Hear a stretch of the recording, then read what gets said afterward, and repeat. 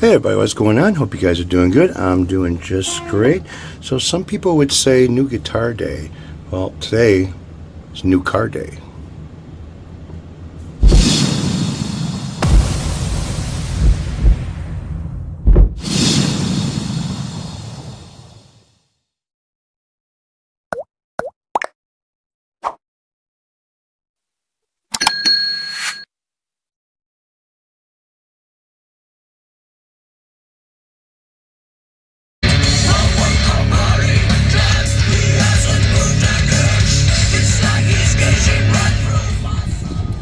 Wow, that just sounds like shit. All right, so this is the new vehicle Ford Escape SE. Kind of cool, kind of nice, very roomy.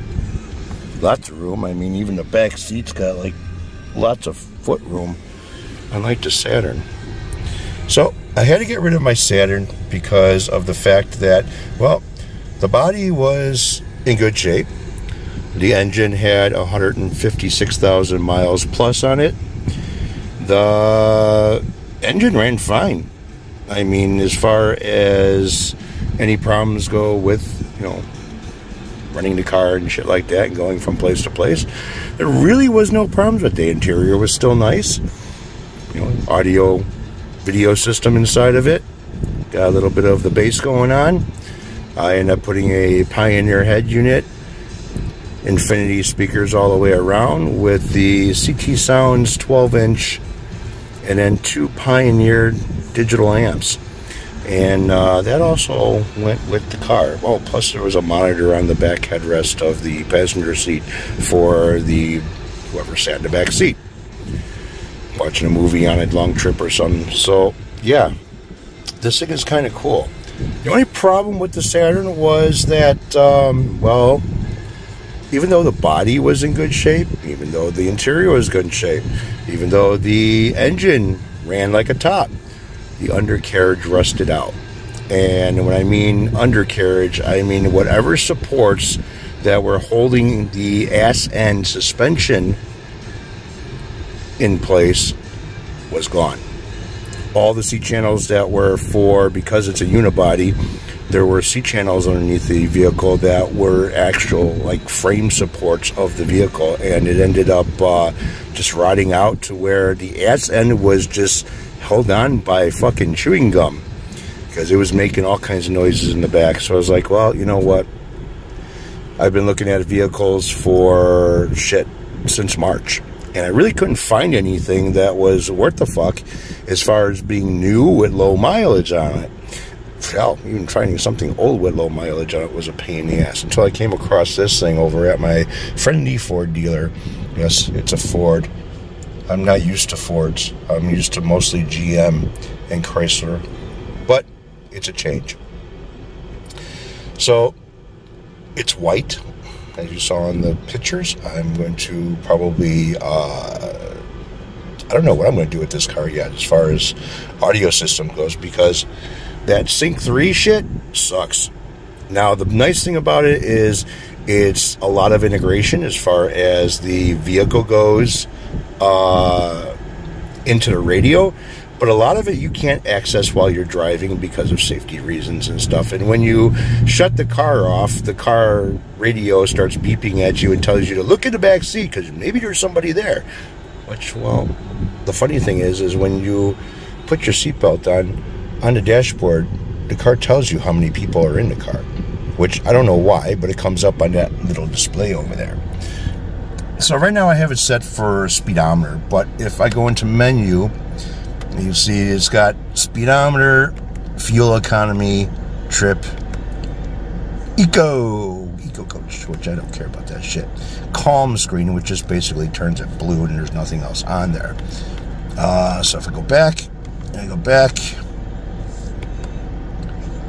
This drive assist, kind of nice. I mean, I'm, I haven't used it yet, but it you know gives you bells and whistles and a little bit of vibration in the steering wheel or it could put you right back into place if you end up drifting out of the lines music you know that's kind of what's going on on the radio right now uh, device detected that is my cell phone there's the car. Now that really doesn't show you much or do anything. It's just a vehicle. And then it gives you like, you know, how long the vehicles you've been running, uh, miles, shit like that, your fuel, everything else, which I'm going to need to get gas pretty soon. Now, this thing is kind of nice because it's got a setting here to where if I push this, I got normal driving, eco, sport mode, shitty weather, and more shitty weather, which turns off the uh, control as far as uh, traction shit. I keep it on normal right now. I had it on sport. Oh, it's a four cylinder with a fucking turbo. All right. Also on like highways and shit like that, it drops one cylinder so it saves you on gas. There is so much now. This is the shit that I wanted to stay away from. All right. This is the shit that I wanted to stay away from with with these cars and stuff that I didn't want to have a bunch of bullshit as far as you know all this shit here and okay let's go over here and go into settings. Look at this. More shit. Radio stuff I get. Clock okay Bluetooth phone media driver assistance. Why? Vehicle Ford Pass content which is, is basically shit on the fucking Ford Passing, which I have hooked up. Uh, general shit, Wi-Fi. Yes, there's Wi-Fi in here. You can use the car as a hotspot. Uh, this is kind of nice. Now, this is a 911 assist. If you have this set up and turned on, you're basically uh, getting to an accident. This will phone the police and get you help right away. Uh, automatic updates, which that's also connected to Wi-Fi mobile apps. All right, now, unless you're connected to something, you really don't have any mobile apps. Uh, Android Auto, which is kind of nice because even though the phone has Bluetooth and Wi Fi and all the other shit on it, and so does the car, uh, you still have to plug in your phone, and then you have a display on here that basically is your maps. So you don't have to have GPS built into the radio display, which is basically setting up, you know, your whole shit over here. Voice connect, which whatever. Uh, valet mode, I am not going to use. Test. Now, this is a hack, all right? What this is, is if you hold down the button on here for fast forward to the next track and fast forward to the next track here. If you hold those both down at the same time you get into the radio of the settings that they don't want you to play with.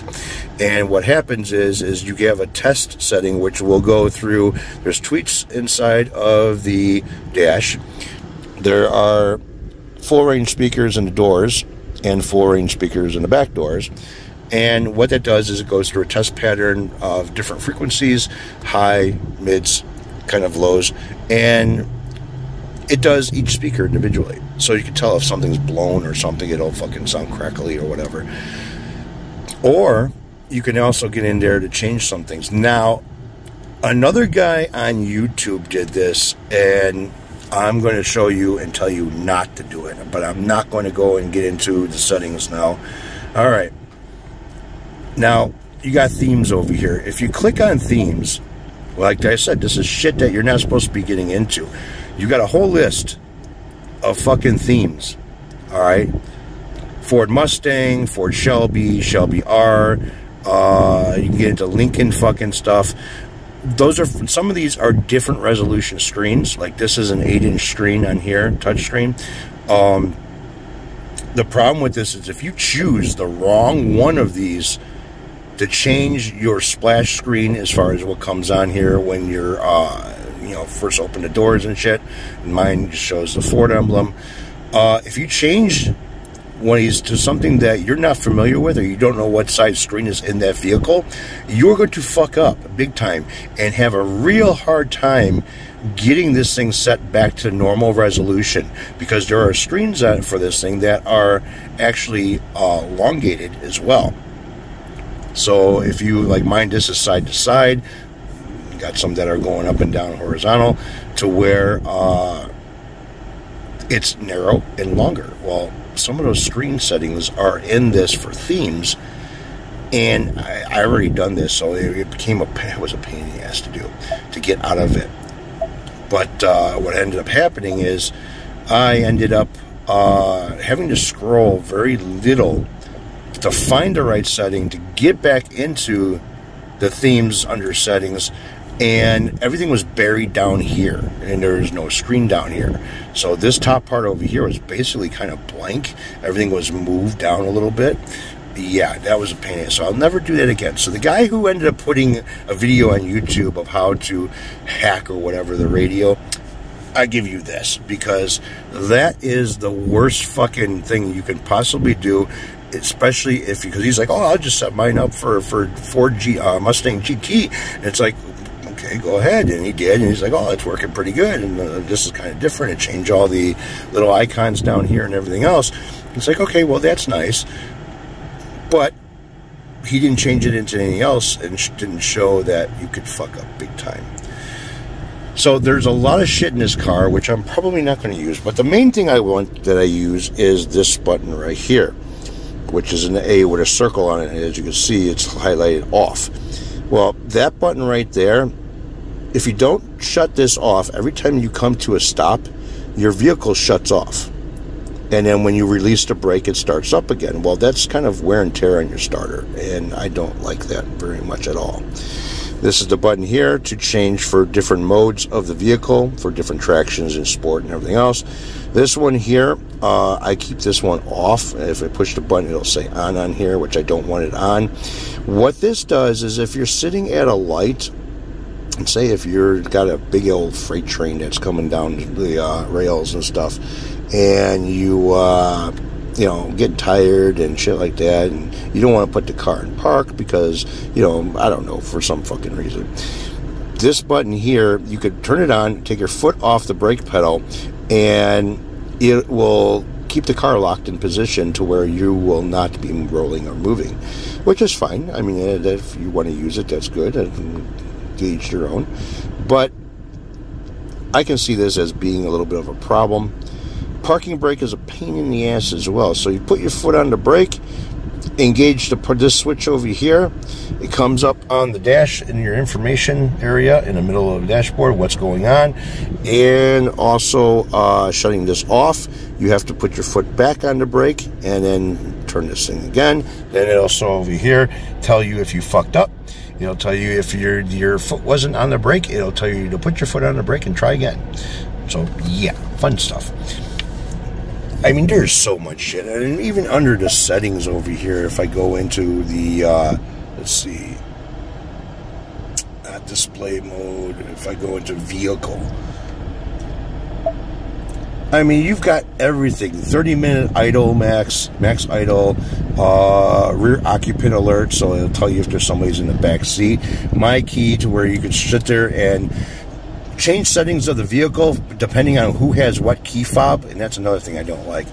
Uh, onboard serial, modem serial number, remote start, set up your windshield wipers, your lighting, your locks, door key code, and that's that's uh, there's a push a touch panel on the side of the door that lights up red and what that's going to do is that's going to tell you you to put in a five digit number which is kind of like the old Lincoln uh, town cars and shit used to have a keypad on the driver's side door and you'd be able to get unlock and lock your doors uh, without having to key.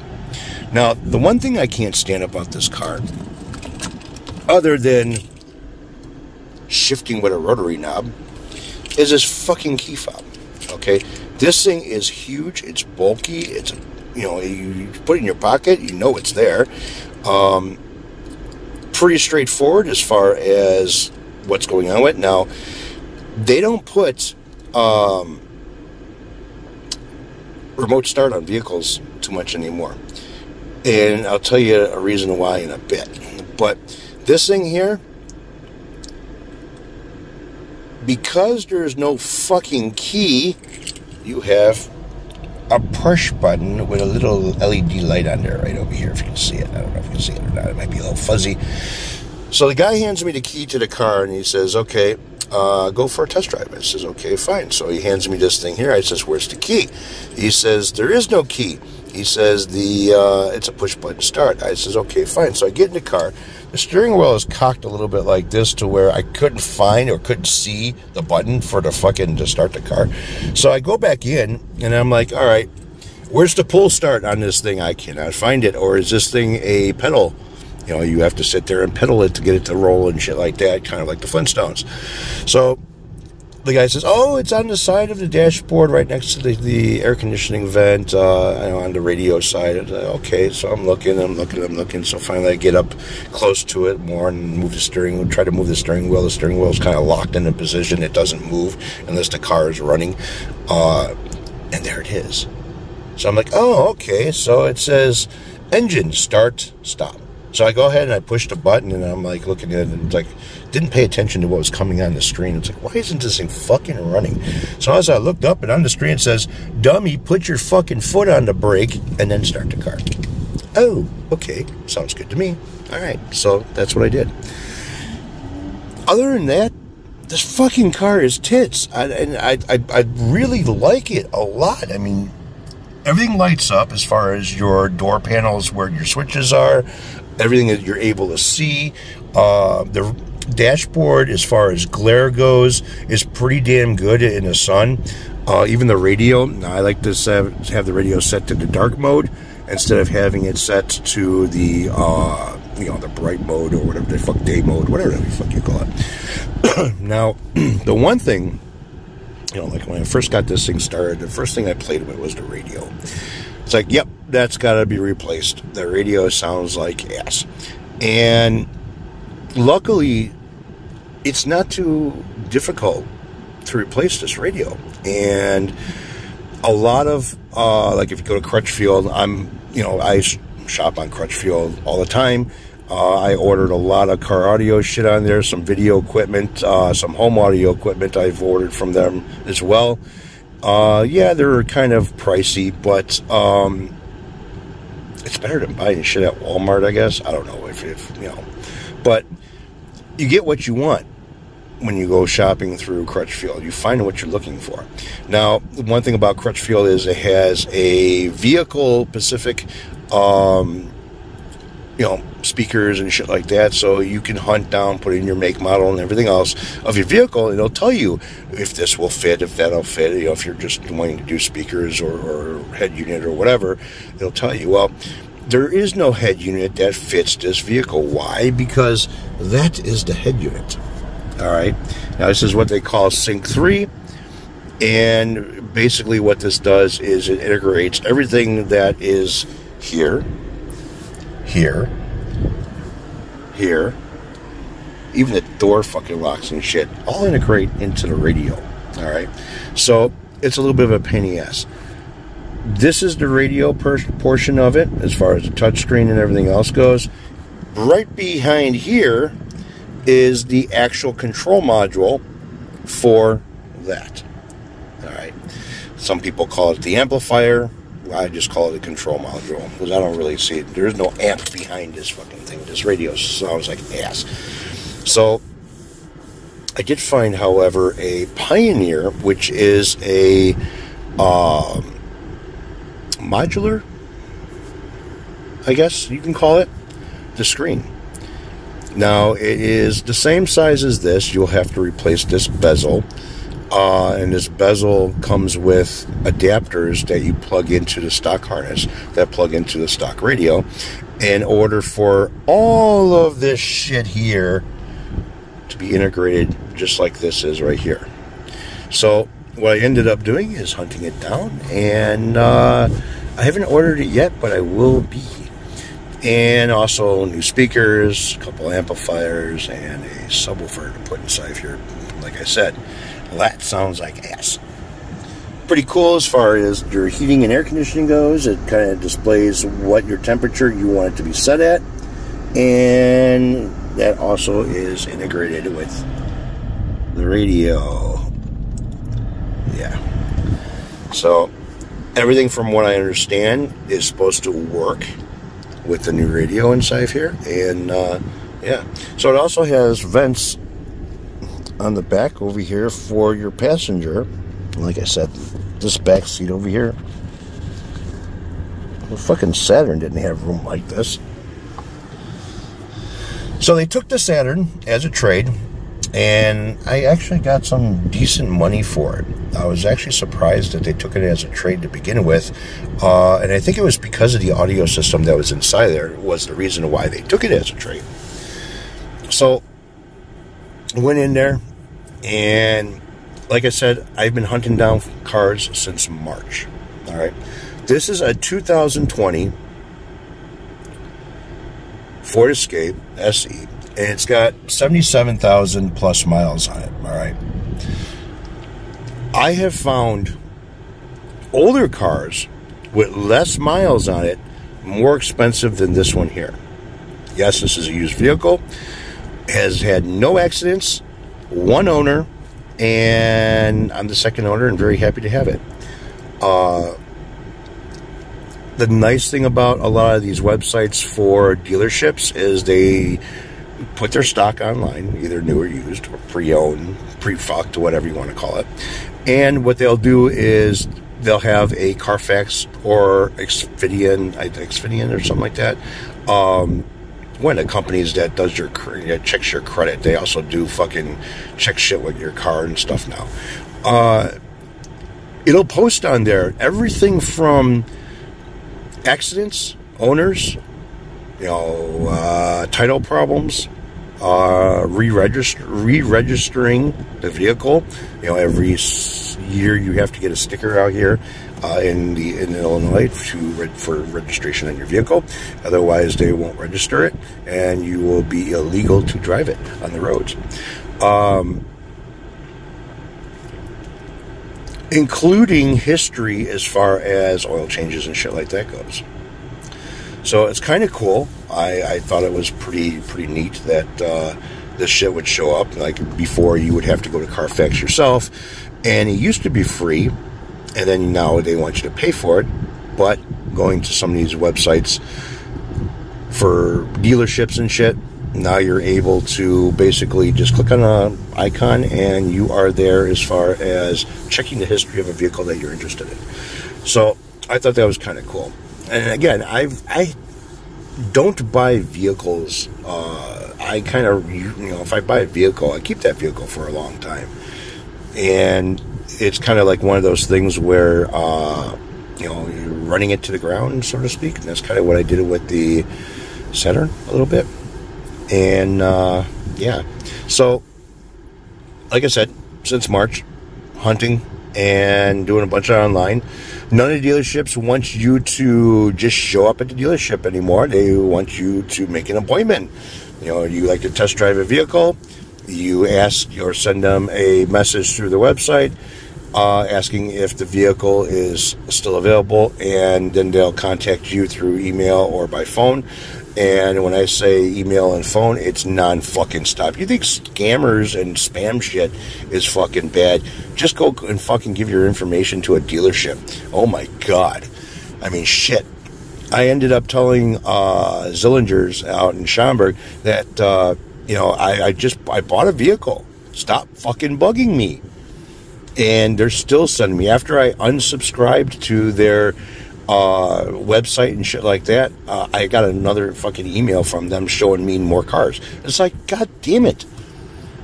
So, so far I've unsubscribed from them three times and I'm still getting shit from them, including text messages. Yeah, so it's kind of like one of those things where, you know, you're damned if you do and you're damned if you don't when you go to a website and give them a little bit of information or show interest in a vehicle.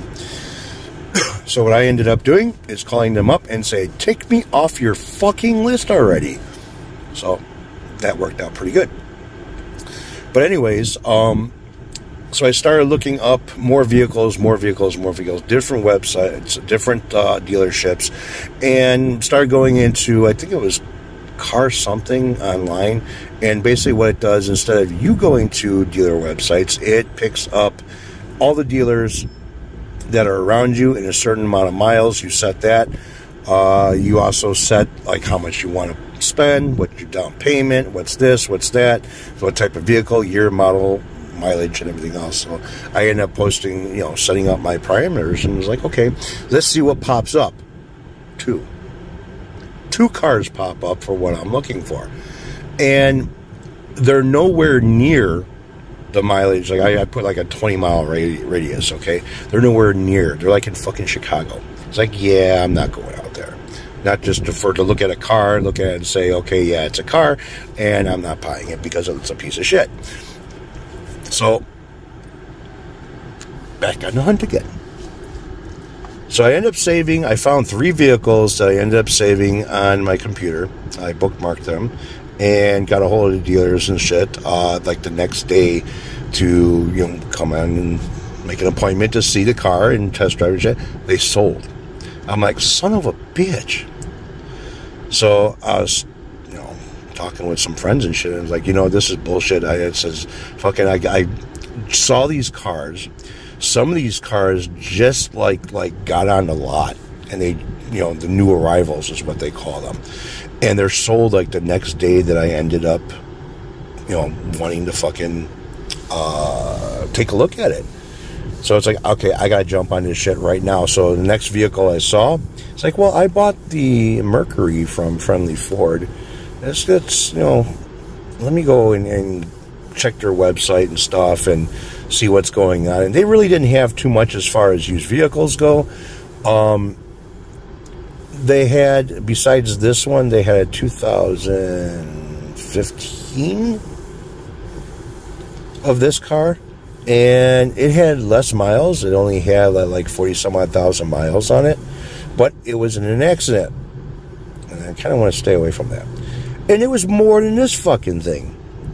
I'm like, son of a bitch. So I was talking with the guy and stuff, and, and, it's like, you know, so how's the haggling as far as prices go? And it's like, well, you can haggle a little bit, but, you know, if you don't like what we're going, we're just going to tell you to walk. And I was like, okay. So I end up getting a little bit of money taken off on this one, newer vehicle, uh, four years old. And the one thing about, you know, buying a pre fucked vehicle, which is called used, uh, all the problems, glitches, and especially with having you know all this computer shit that I really didn't want, uh, are fixed. Bugs, you know, recalls, whatever, and getting them all uh, taken care of before you purchase the vehicle is kind of a nice thing. Now, the one thing with this this radio system, this sync fucking shit, is you see that if I go to was it vehicle, uh, let's see, no, that's not it. Let's go back.